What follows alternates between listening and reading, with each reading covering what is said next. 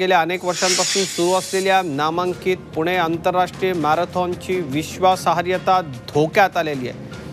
सर्व राष्ट्रीय आणि आंतरराष्ट्रीय खेळाडूंनी पुणे मॅरेथॉनमध्ये सहभागी न होण्याची नोटीस ऑल इंडिया ॲथलेटिक्स फेडरेशननं दिली आहे. केवळ दोन दिवस आधी मॅरेथॉनची मान्यता रद्द केल्याचं जाहीर केल्यानं खेळातलं किळसवाणं राजकारण समोर आलं याबाबत न्यायालयानं नियुक्त केलेल्या महाराष्ट्र ॲथलेटिक्स संघटनेचे अध्यक्ष रमेश जाधव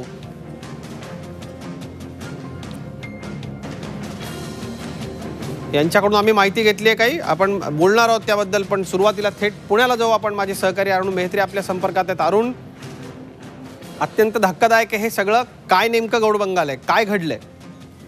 अजित खरं तर इंटरनॅशनल म्हणजे आंतरराष्ट्रीय मॅरेथॉनची परंपरा जी आहे ती पुण्यातूनच सुरू झाली होती. अगदी काही दशकांपूर्वी पुण्यात पहिली आंतरराष्ट्रीय मॅरेथॉन झाली होती. त्यानंतर पुणे इंटरनॅशनल मॅरेथॉनला सुरुवात झाली. हे बत्तीसावं वर्ष आहे. आणि परवा मॅरेथॉन आहे. म्हणजे रविवारी पुण्यामध्ये या वर्षीची बत्तीसावी आंतरराष्ट्रीय मॅरेथॉन होऊ घातली आहे. आणि त्या पार्श्वभूमीवरती दोन दिवस आधी म्हणजे काल एक पत्र फेडरेशन कडनं ऍथलेटिक फेडरेशन काढण्यात आलं आणि त्यामध्ये की पुण्यातील आंतरराष्ट्रीय मॅरेथॉन जी आहे किंवा पुण्यात होऊ घातलेली मॅरेथॉन जी आहे. ती अनधिकृत आहे. तिला फेडरेशनची मान्यता नाही आणि त्यामुळे कुठल्याच खेळाडूंनी त्यामध्ये सहभागी होऊ नये अशा स्वरूपाचं अशा स्वरूपाच्या सूचना त्या पत्रामध्ये एक केलेल्या आहेत. आणि म्हणूनच ही मॅरेथॉन जी आहे ती आता एका वादात सापडली आहे. गेले कित्येक वर्षे पुण्याचा महत्त्वाचा इव्हेंट ज्याला म्हणतो किंवा एक क्रीडा हो, एक स्पोर्ट्स इव्हेंट म्हणून त्याच्याकडे बघितलं जात होतं. मात्र यावेळी त्या संदर्भात आता काही प्रश्न उपस्थित झाले. अर्थात त्या संदर्भात आम्ही मॅरेथॉनचे जे आयोजक आहेत प्रल्हाद सावंत त्यांच्याशी बोललो. तर त्यांनी सांगितलं की पुणे आंतरराष्ट्रीय मॅरेथॉनला याची फेडरेशनच्या मान्यतेची आवश्यकता नाही. इंटरनॅशनल असोसिएशन जी आहे मॅरेथॉनची त्यांची मान्यता या मॅरेथॉनला आधीपासूनच आहे. किंवा या वर्षीचीच नाही तर पुढच्या वर्षीची देखील मान्यता आहे. आणि महत्वाचं म्हणजे की गेले इतके वर्ष ही मॅरेथॉन होत आली आणि आता दोन दिवस आधी पत्र पाठवलं जातं याचा अर्थ काय? किंवा याविषयी साशंकता त्यांनी देखील व्यक्त केली आणि अशा सगळ्या परिस्थितीमध्ये मॅरेथॉन एका वेगळ्याच कारणानं चर्चेत आली आहे. अरुण धन्यवाद या सर्व माहिती करता पण एकूण खेळातल्या राजकारणामुळं अत्यंत प्रतिष्ठाच्या पुणे मॅरेथॉनला अशा पद्धतीच्या राजकारणाला सामोरं जावं लागतंय. खेळाडूंना नोटिसेस पाठवल्या आहेत गेल्या अनेक वर्षांपासून सुरू असलेल्या नामांकित पुणे मॅरेथॉनची आंतरराष्ट्रीय मॅरेथॉनची विश्वासार्हताच धोक्यात आलेली आहे. सर्व राष्ट्रीय आणि आंतरराष्ट्रीय खेळाडूंना पुणे मॅरेथॉनमध्ये सहभागी न होण्याची नोटीस ऑल इंडिया ॲथलेटिक्स फेडरेशननं दिली आहे.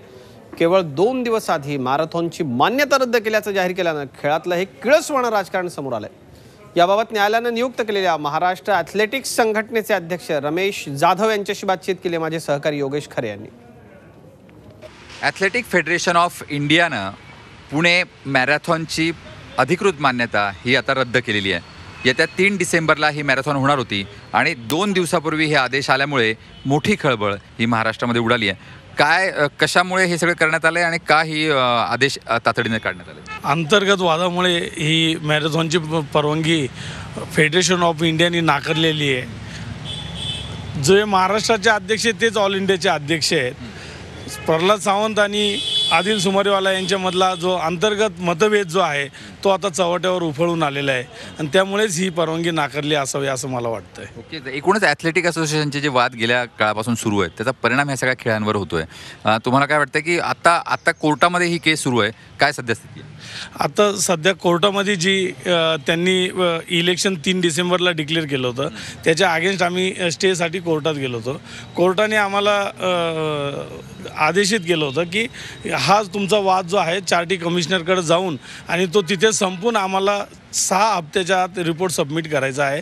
ह्या आदेश हायकोर्टाने खालच्या कोर्टाला दिलेले आहे. एकूणच न्यायालयाच्या आदेशाला सुद्धा क्रीडा प्राधिकरण आता जुमानत नाही असं दिसून येत आहे महाराष्ट्रातली ॲथलेटिक असोसिएशन खरं म्हणजे मोठ्या प्रमाणात राजकारण करते आणि खेळाडूंना न्याय देताना या ठिकाणी दिसत नाही व्हिडिओ चॅनल सोनू भिडेसह योगेश खरे झी मीडिया नाशिक.